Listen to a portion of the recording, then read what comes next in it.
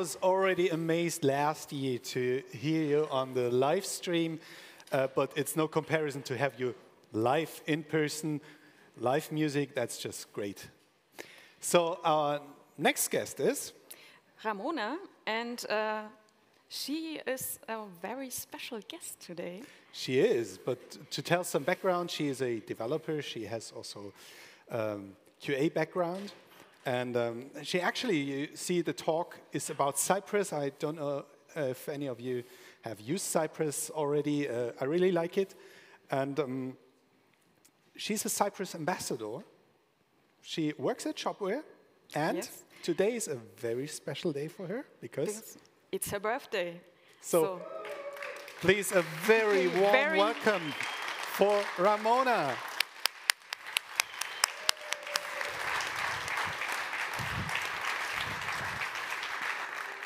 Hello, you there, and thank you so much for this warm welcome. It's not only my birthday today, it's really special to be here at an in-person conference, which I have been not, I have not been like ages. Maybe you know that as well because of COVID and stuff. So it's really important for me, and it's really precious that you are sharing your time with me here and listening to me sharing my end-to-end journey, how it got to a good end. And if you help me pray with the live demo oh gods. We will have a little live demo, oh, live coding. So please wish me luck that the fate is on my side just because I have birthday. And let's check out if Neos takes care of testability. Let's see. Well, let's introduce the talk in other words. I'm Ramona, and welcome to the premiere episode of Mo Presents from the Test. Mo is a little nickname, just to say that. But jokes aside, let's get serious. As said, I am a front-end developer at Shopware, and Shopware is a com- company providing an open source e-commerce system. So slightly, I have um, a little bit of experience when it comes to Neos because I think they have an interface, but just quite yeah, superficial. So I'm really, really excited to see how they are with test automation. And as I have some experience when it comes to QA, you can really guess that I'm really passionate about test automation. But what does test automation mean for me? Well, I think you should always write a test, no matter what test, because it will take care that your written code works, that your assumption on your code is the right one, and you don't have some false misconceptions or whatever.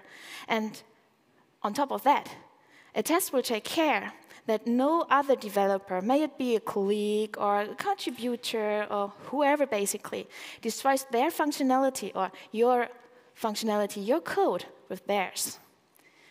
If you got many tests, for me, that means having a good coverage.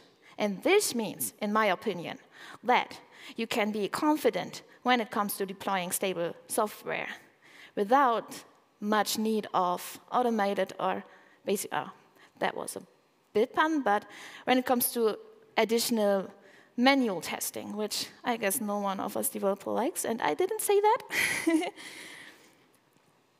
but anyway, if you didn't started writing tests or didn't take care of it for a long time, like I did sometimes in my apprenticeship or something, it's, it might be a bad idea to just starting out and saying, okay, I just will write some tests. I don't care. It could cause a mess. I know by experience. I have a talk about common, uh, common pitfalls I did, so yeah, I really need. So we should take a quick look what test we should write.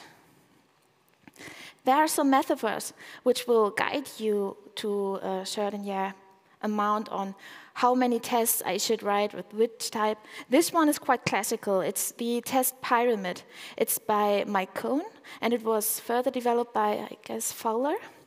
And it shows you some yeah, guidance on how many tests you should write from which.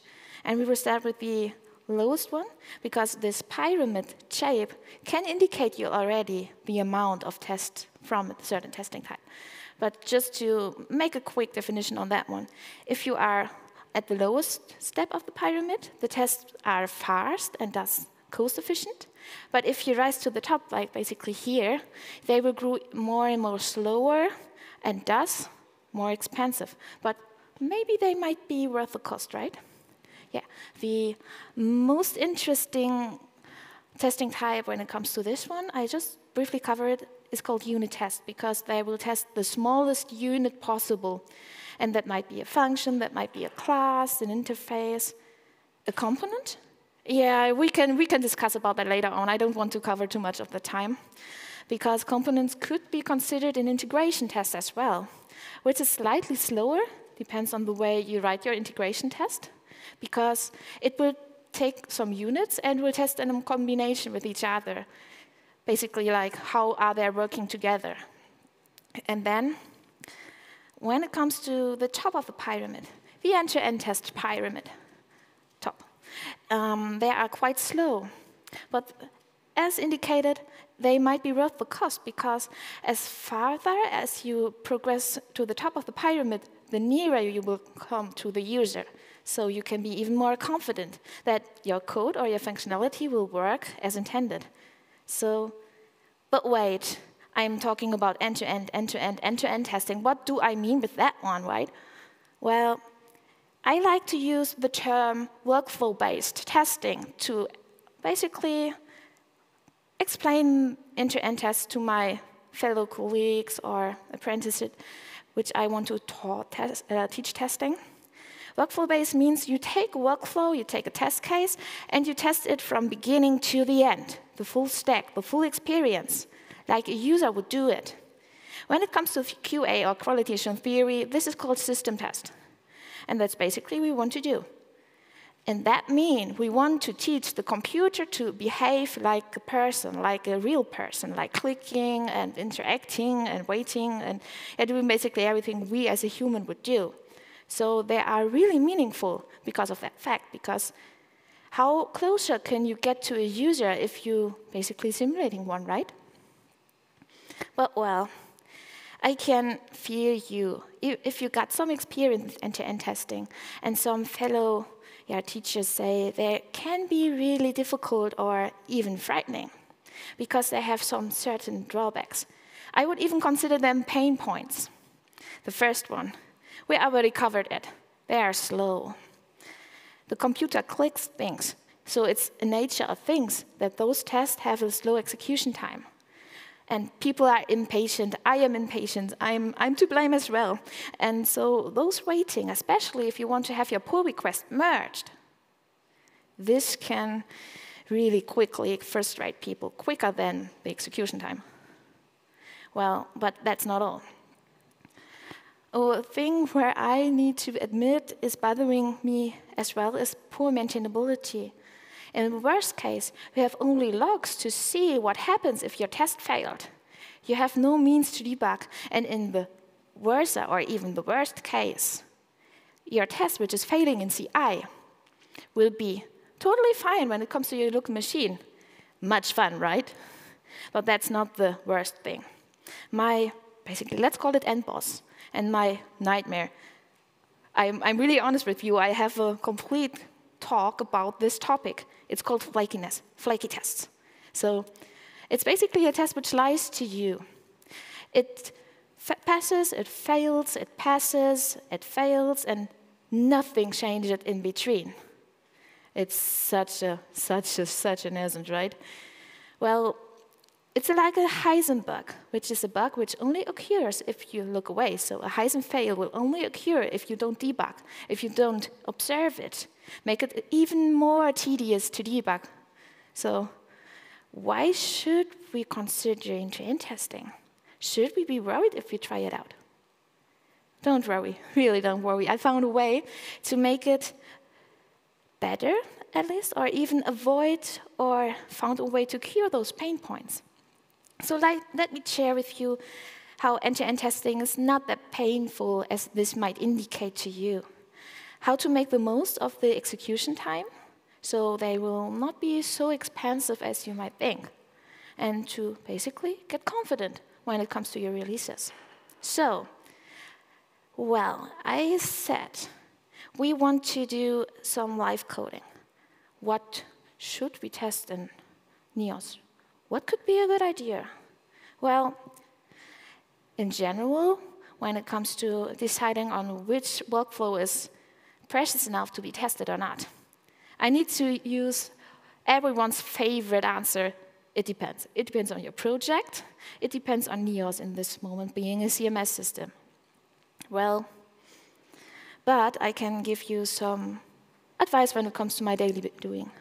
The first criteria I'm using to decide if I should write an end-to-end test or not is, is my workflow common enough? Is it something the user will experience a lot? Is it something like a happy path? Or some CRUD operation, which is essential for my application? Then I should probably write an end-to-end test. Same with this one. How vulnerable is my workflow? How much damage would be done if I screw it up. When it comes to e-commerce, it's clearly like the registration or checkout process where customer would lose money if it breaks. And last but not least, if my end-to-end test would cause some duplicate code, or if a unit or integration test is better suited for it, I should probably waive it. All right, so what does that mean? For a content management system. What could be a good workflow which a user should be able to do all the time and which would cause much, much, a lot of damage when it's broken? Well, I guess it's this one. As a user, I want to be able to create a page. So yeah, I guess we have a little test case we can write together, right? All right, so let's do exactly that in order to write my test, I want to use Cypress because it saved my back lots of time when it comes to maintainability and flakiness.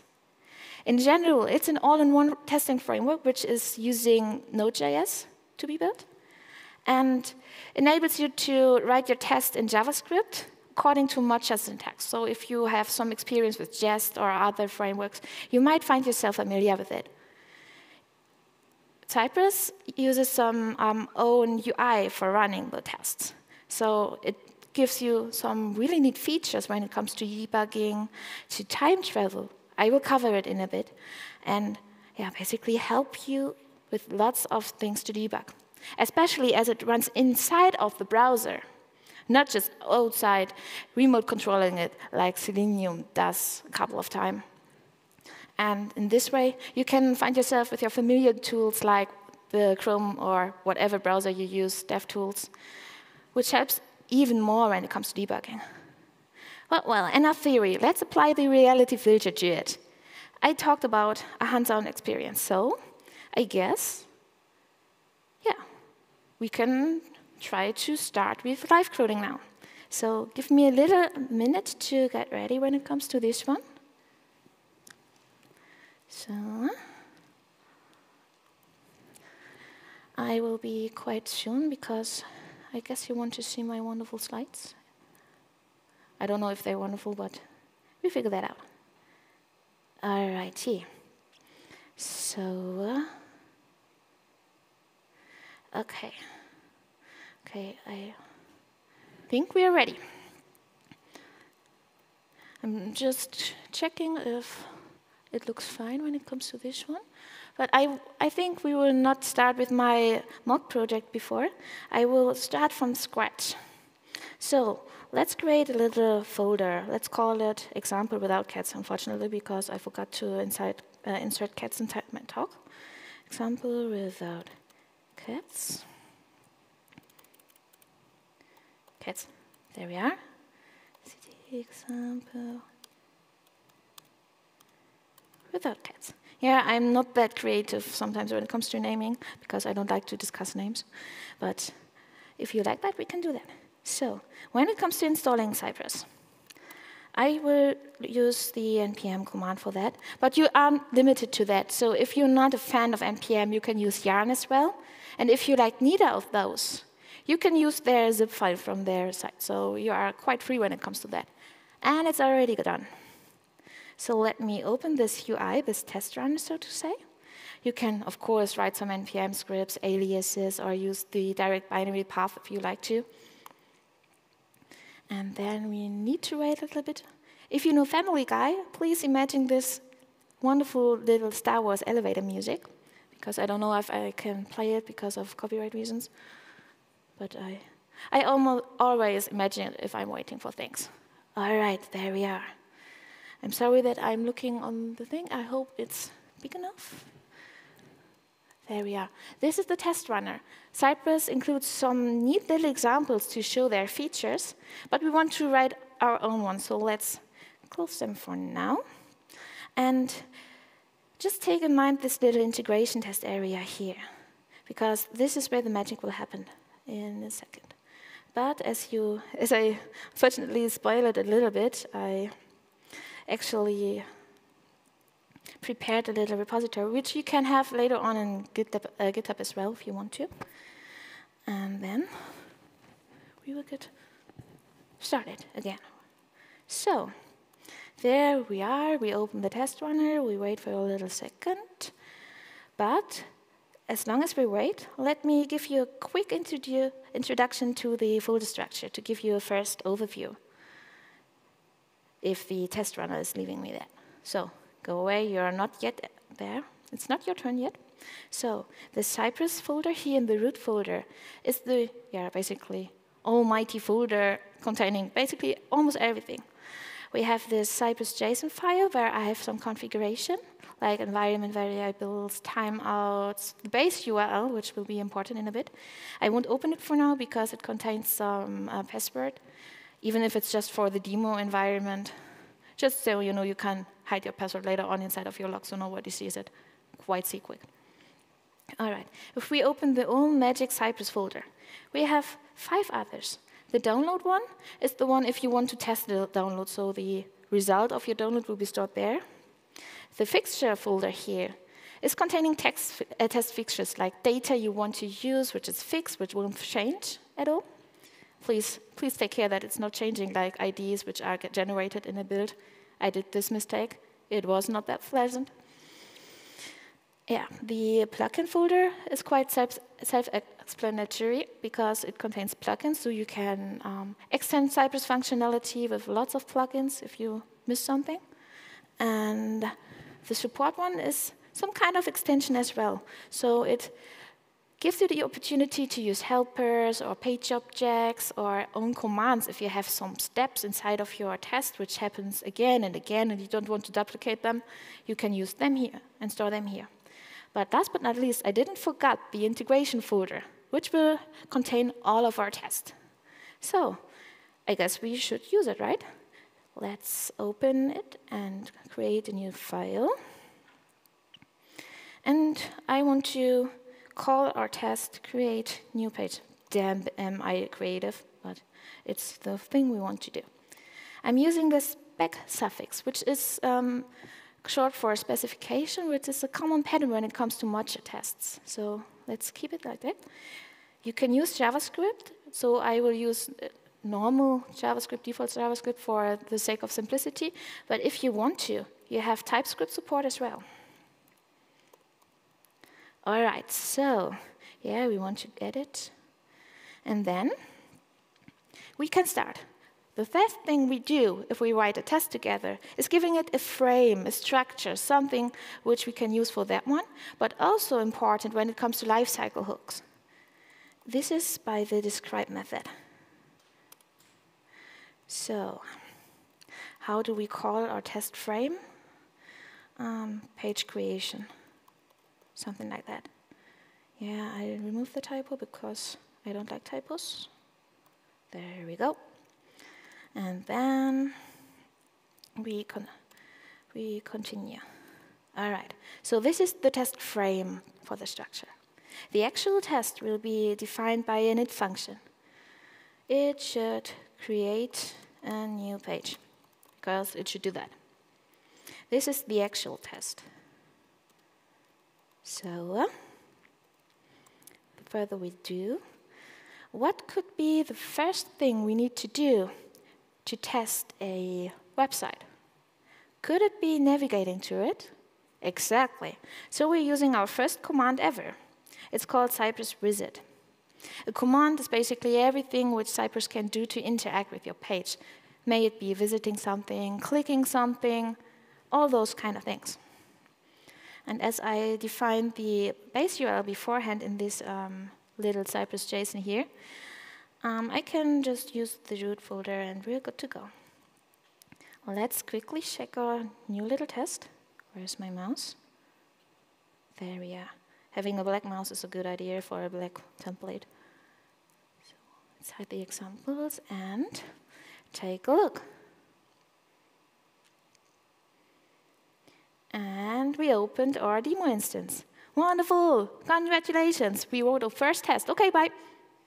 Don't worry, I won't do that. So we will fill it with life now. So, what should we do when it comes to creating a page? I guess we need to log in first. So we need to enter a username, it be this one, and the password, and tip login. And now we need to teach Cypress exactly that. And in order to do that, Cypress needs to know with which element it wants to interact. So we need to find out selectors for unique selectors for the elements. All right, Cypress gives you a little help for that. It's this little selector playground here.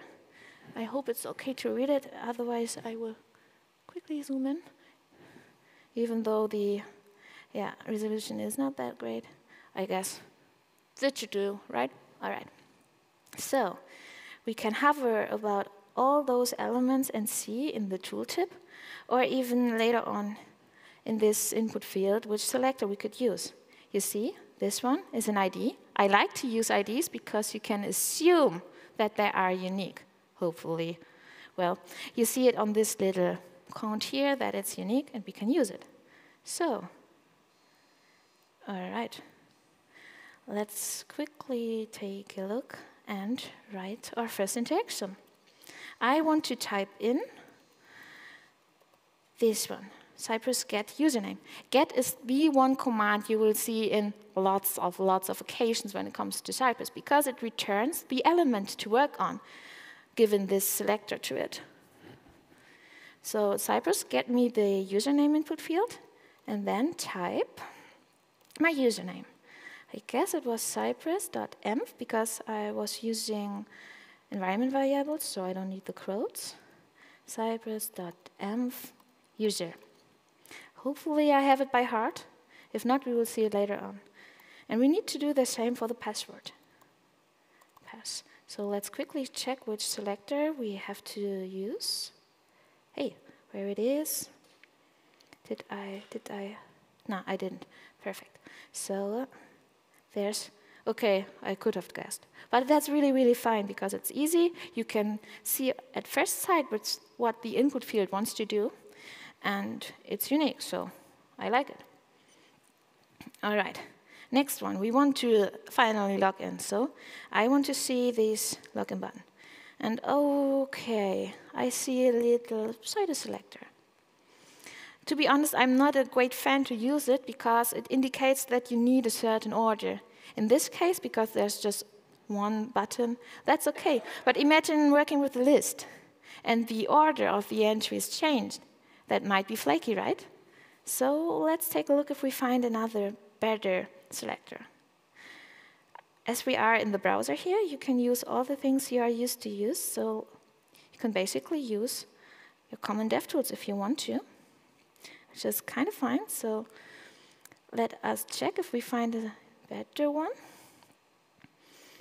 Uh, I don't know. But let's, let's go with the Neos button for now. Because we can do another workaround to not be dependent on orders. So Cypress contains. This is a special nice little command which gives you yeah, an assertion basically if is, uh, text is somewhere on the side, but if you use the selector as a parameter first, it will contain, uh, it will give you the element with the, uh, with the string. So let's enter it, right? Cypress contains and give me the element with the string but, uh, login inside of it, and then click it. All right. So, little saving, and let's check what I did here. Hey, open. Oh, that doesn't look good, right? Hmm. So you see how it looks like as it's failing. Cypress will help you figuring out why it's failing. And I guess some people already saw why it was failing, but please be quiet for a little moment so the others can see a nice little thing when it comes to Cypress. Because if you take a look here and pin some log entries, you can basically have any kind of information. And in this case, it's quite cool to take a look and inspect everything, but you can do it with other points as well, like which, um, which element were found, and yeah, lots of things.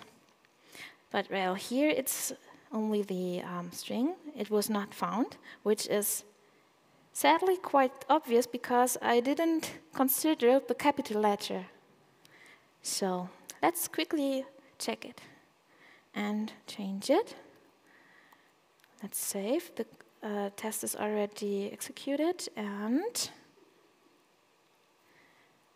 I guess that looks fine. Okay, so the next thing we want to do is actually creating the page. So we need this button here. I will check if I can use the selector here. Yeah, it's an ID. It doesn't contain anything which could be generated anew, so I like it. I'll use it. And go back again. I will say Cypress get the element with this ID. And click it again. Let's see what happened. It's already good. And yeah, the modal window is opened. And look at that. This is the time travel which helps me a lot when it comes to debugging because you can take a look at any snapshot here, what happened inside of your test. Even when it comes to the clicking, you can see where it was clicking and basically any little thing what happens inside of your page. So if you want to see why a test was failing or maybe debugging a bug fix, this could help you a lot. And as you see here, that's even the case when it comes to requests. So when the request is fired and when the response is there. This is quite cool. And if we are already on it, I can show you some other thing. If you pinned it, you can basically inspect any information of the request that's kind of neat, right? All right, back to topic. We want to uh, continue. We want to create a page, so I want um, yes, this one.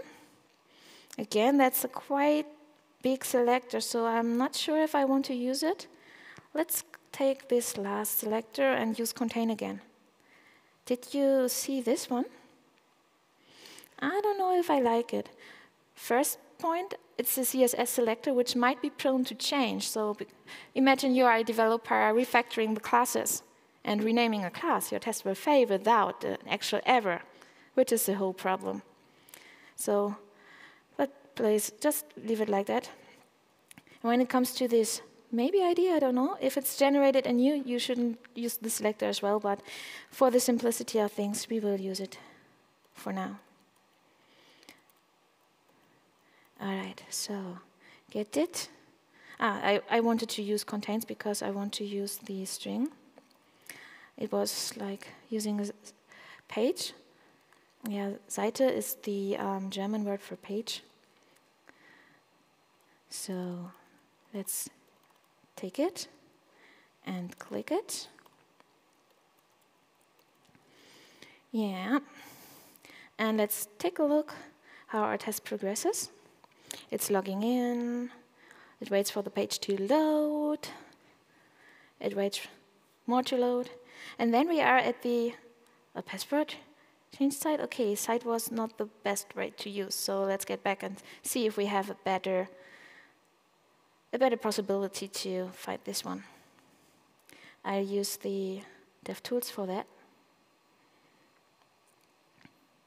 Let's take a look. I know it's really small now, I'm not sure if it's a good idea. Nah.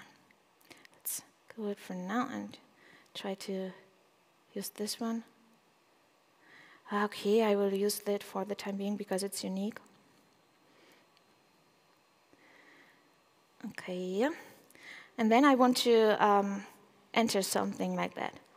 Maybe like created by all of us is a good idea. Let's quickly correct this one to use the selector, which is quite long. Please bear with me. and rewind back to get. And I go back to the um, the form. I'm using this ID, again an ID, that's, that, that's quite neat. I want to type in created by all of us because we're creating a test together. Get this one and right, use the right one, not a typo again. All right, thank you. And then type created by all of us. All right. And last but not least, we really want to create the site, so we need to click Create New. Again, that's a neat little ID. It's unique. I wanted to, I want to use it. So let's get back to here. And Cypress get this element and click. Alrighty then. Let's see if I was uh, successful. And get back to the test runner. It's already logging in because it's auto-loading basically. And he doesn't like this. And ah, I see right, because I have a point too much. All right, next try. Again, we're logging in, we're waiting for it, and yay, our test passes. We were able to create a complete page with Cypress. Well, to be honest, if you give me a test like that inside of a pull request, I most likely won't approve it because, of course, you covered the workflow right, but you don't know if it's really working did we really create the site even though we see it inside of the log? We will not see it here. And, well, could it be dangerous? Because what happens if your app is under load? Are you sure that this is enough to wait? We don't want cause flakiness, right? So let's take a better look at the waiting times. A nice little detail is in general that this get commands and most other Cypress commands will have an automatic waiting functionality. So they will retry the command for a certain time, you can configure it, and then fail. So they will take care if an element exists inside of your DOM, but not more than that. So if it's not interactable, if it's not visible, Cypress won't take care. And this is a point where flakiness could occur. So how do I proceed then? All right. I think we should at least wait for the pages or the elements to load before we interact it. So let's take a look when we load some page. So for example, here. So I want, want to make sure that this is um, fully rendered and loaded and there before I continue. So let's quickly, should we use this one? Yeah, I use the login box. So I want to make sure that the login box exists before I continue. So I'm using assertions, which are basically checks to make sure that our requirements are met inside of a test. I'm using them to wait explic explicitly. So I want to be sure that the login box is visible. So I'm using should, and the chainer be visible. Okay, on which points should we do the same? I guess it's a good idea to make it if we are logged in. So basically after the page is loaded. So here, Cypress is quite obvious when a page is loaded. So here on this point. Um, I guess we can be quite simple on that point, especially when it comes to the time, and use the button we want to use. Hey, get back. Thank you. So uh, I'm using this one. It should be visible before we click it. And where do we do it? On this point. Cypress get my element. And again, it should be visible. Okie dokie. The same is for the two modal windows. So I guess to get it a bit quick, I want to do the same with the field here. Should again be visible. Yeah, you might have guessed this is an assertion you will see a lot inside of my tests. All right, and last but not least, I want to make sure that we really created a page together. So let's check if the last one here, hey, go away, was created by all of us. So again, I will fetch this selector, even though it has maybe an ID on it, I don't know, and make sure it's visible. But that's not the only thing we can do. We can even wait, we can even use a bit more um, things to wait for a really um, safe time. I know there will be some discussions about it if this is the scope of an end-to-end test. I think it's quite neat, but I'd love to hear your opinion on that one later on. So, we can wait for API responses. So basically doing API testing inside of an E2E test. And I'm using it at Shopware quite a lot because we are um, API first, so even the click would use the API, so I think that's no problem to mix those tests a bit. In order to do that, I think it might be a good idea to test the uh, page creation.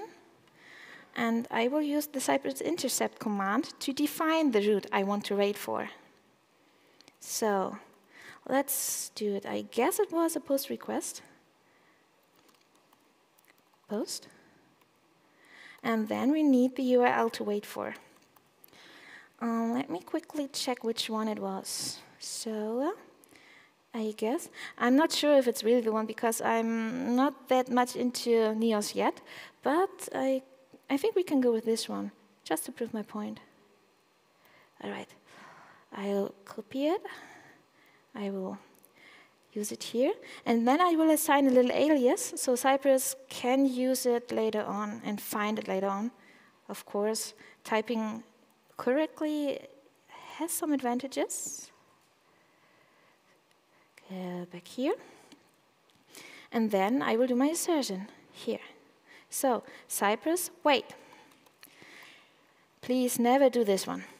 Please never do this one. I cannot stress that enough. No fixed waiting times, please, because if your app needs more time than that, it will fail in a flaky manner. Experience it myself. And if your application is more fast, faster than that one, your test will be slower than it needs to. So please forget that really, really soon and return to the request. If you do this, it will wait for the response but it can still fail because it won't check if it's successful or not. So let's add the kind small thing. So I want to check if the response has a status code. And it should be successful. So, oh, that's not the right place. There it is. Should equal because I want to have a certain um, status code, and it will be the 200. All right, let's see if I was right and if it's passing. I really love it if we have some API requests to wait for because it's quite efficient to determine if all data is on the, uh, on the point where I want to have it. Okay, it's covered by another element, so maybe this session we used wasn't the best one. I quickly check again. Because it's covered by another thing. Yeah, because we had a little problem because as the computer is behaving like a real user, we need to scroll like a real user, right? And of course, it's no good idea that it's always the same name here. So, yeah let's keep that away for now. We can use a little command like Cypress scroll. And I saw that we didn't determine if it's the right one to get checked. So let's take this selector again. And scroll into view because we want to scroll it. Scroll into view. Perfect. And let's use another name because we were creating a lot of things. Mm -hmm. And I want to correct this and use our new name because I want to make sure that it's really the page we created and nothing other. So like this one. And rerun it again. So it's again logging in and it is creating our wonderful page. And still, yeah, this is a little bit flakiness we should take into account. Alrighty, I'm using another name to make it quick. Mm, let's call it one, created by us. And run it again. So that's basically the way you can use Cypress to write a test. Alrighty. So maybe my uh, assertion is just no good idea here. But you get the point. We know that it was um, created perfectly because we saw it and we have the change thingy here. And because of the time, I think I should still continue. But if you want to take a look later on with me together, that's still a good idea. And let's remove those for now. And use it like this. To not waste too much time to search for the right selector. So maybe IDs and selectors aren't that a good idea? I don't know. And scroll down. Yeah, perfect. So finally, I can uh, congratulate you. We wrote our first test together. Yeah, yeah.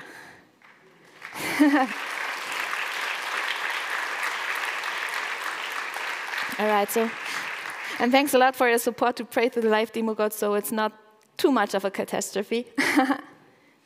yeah, if you see it like that, you don't have such a steep learning curve. It's quite shallow because if you use JavaScript before or TypeScript, if you prefer TypeScript, or maybe even use some other test frameworks like Mocha in general, Jest, you will find yourself familiar when it comes to the yeah, writing of Cypress tests. So it's not that much more to learn or to get yourself familiar to.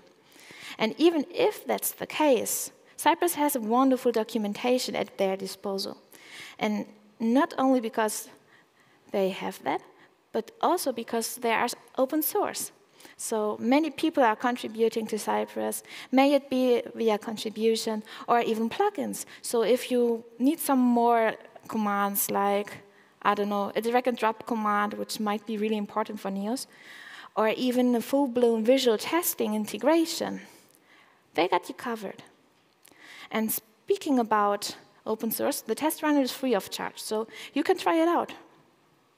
Speaking of open source, you can find this example in a more researched way, let's to say, on uh, GitHub. So if you want, take a look, check it out, destroy it, give me feedback, and I will.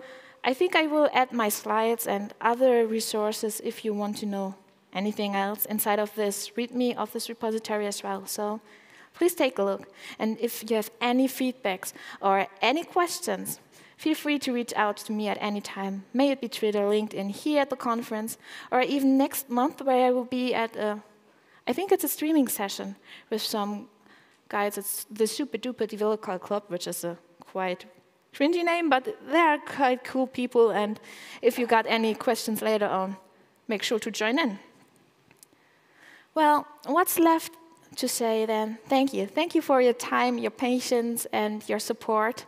And I hope I can do some little toast with you on my birthday or whatever. See you later.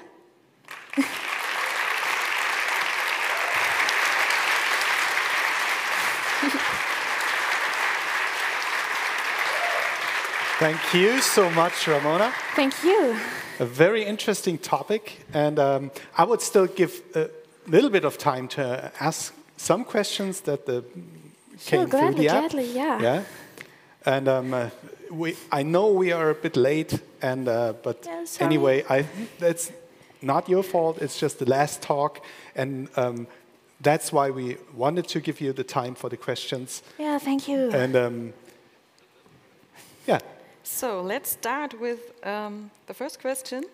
Can I write a gherkin cucumber test for Cypress? Yeah, exactly. You can do that.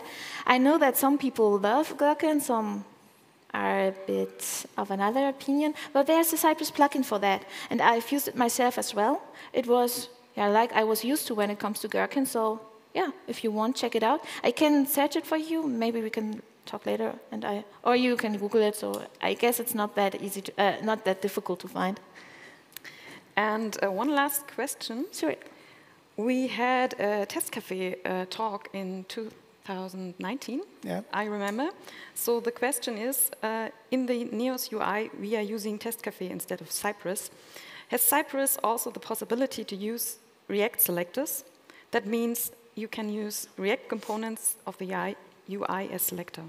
Oh, that's a good question because I'm not that familiar when it comes to Test Cafe and React because I'm a Vue.js developer. But I know that there's a quite big testing library as a Cypress plugin, so maybe it's a good idea to check it out. I can I cannot promise you that it will cover it, but it's of in every case it's a really good addition, and maybe check it out. perfect. Thank you. Thank you. We still have a little birthday present for you. Yeah, both the presents. And you told us that you like gin, so okay, this is for you. And uh, um, we have uh, Jan and Klaus playing again, and I would like to you to stay on the stage for that. And Ooh, please come you're too kind. We'll do some singing together now. oh God, I should have saw that coming.